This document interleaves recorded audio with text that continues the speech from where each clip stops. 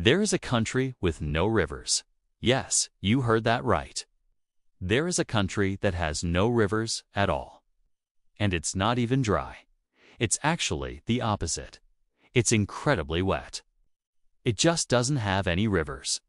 This country is Saudi Arabia. The entire country is covered in sand, yet there isn't a single permanent river to be found.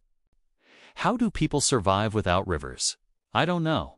The answer is actually quite surprising. Most of the water in Saudi Arabia comes from underground aquifers. These aquifers are basically giant layers of rock that are filled with water. The water is so close to the surface in some areas that you can literally see it bubbling up through the sand. The Saudi Arabian government has also built some of the world's largest dams to store rainwater. This way, they can use the water for drinking and for irrigation.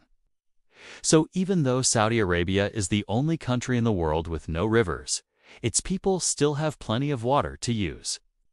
Thanks for watching and see you in the next video.